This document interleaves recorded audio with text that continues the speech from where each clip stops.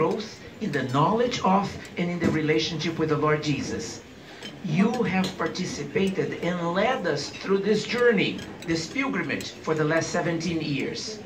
Our paths will now separate from each other, but thinking of a journey and just a separation of paths from now helps me to cope a little bit better with the reality of it. But it has been a good journey relatively recently, unrelated to your departure, Monsignor, I realized that I finally could think of the events of that problematic year before your arrival here and not feel disturbed or emotional about them any longer. I felt that I have been finally healed from that wound. And you were the pastor who shepherded me through that desert. I thank you for that.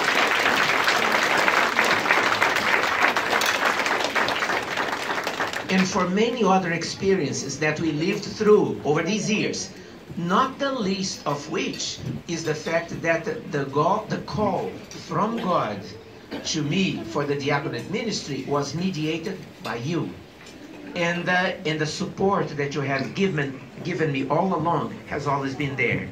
So I think that many others here also would share similar, adapted to each one's circumstances, but similar feelings of gratitude to you on our journeys. Monsignor, be assured that we will be remembering with fondness the good the, with fondness the good times we shared in the journey with you and we will be praying that the Lord will remain with you in whatever steps you, you take along your new way. Thank you, Monsignor.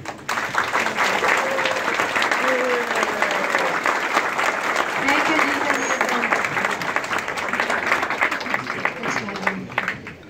And now I would like to call Deacon Tom.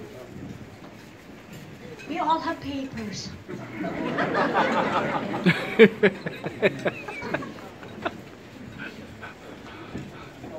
Monsignor Robert, when you came here 17 years ago, you were the right person at the right time for this community. In your homily last evening, you mentioned that when the bishop asked you about it, he gave you a slight smile. I think perhaps that's because he knew what you were walking into. We had gone through a number of different pastors in very quick rotation. I guess he figured you were going to be a bit more tenacious. 17 years tenacious.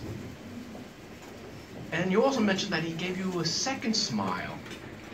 I think maybe that was because he told you that there was a pool of water in the church hall. And you probably thought, that's a strange place to do baptisms. It wasn't until you got here that you realized that our foundation was leaky,